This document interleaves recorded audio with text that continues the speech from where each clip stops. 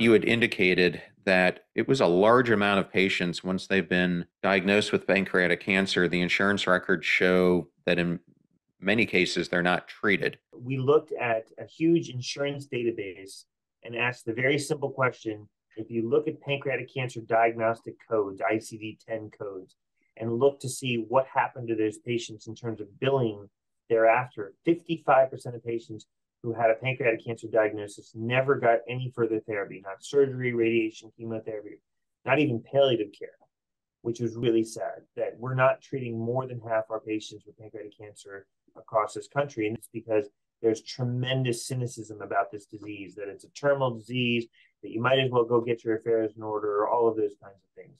And they don't realize that we can actually help patients live longer and feel better when they have pancreatic cancer.